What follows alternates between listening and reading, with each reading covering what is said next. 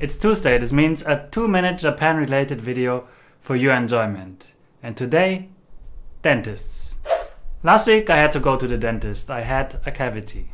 I arrived at 11.55 and was sitting on the chair at 12 o'clock sharp, which was also the scheduled time of my appointment. At 12.15 I was paying the bill and at 12.17 I was out. Now that's not always the case. I remember having to wait a couple of times at my previous dentist but with this one, which I've visited four times so far, it's always been the same. Inside, you will be asked to take a seat on a chair. It has a monitor attached showing Japanese TV, so while you're waiting, for example, for an injection to show its effect, you can watch Japanese comedians being pranked.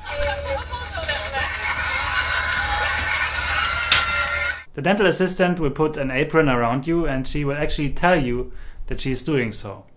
Same when the dentist starts working. He will tell you when lowering the chair, when putting a towel over your eyes so that you don't get blinded by the lights, and also when he starts using a drill. The room is shared with other patients. The seats are separated by room dividers, but to allow the dentist to move smoothly and probably also to save space and cost, in my case, up to three patients will be treated at the same time in the same room.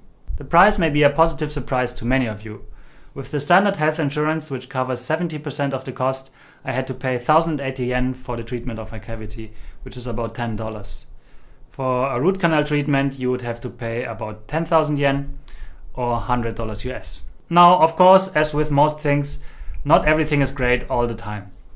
The one thing most foreigners or guests to this country tend to complain about is the lack of English speaking dentists. So, if you go to the dentist in Japan, please make sure to learn a little bit of Japanese before. If I can do it, so can you.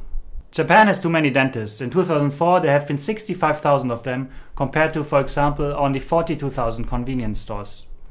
By 2025, there will be an expected 18,000 dental clinics more than needed in the country.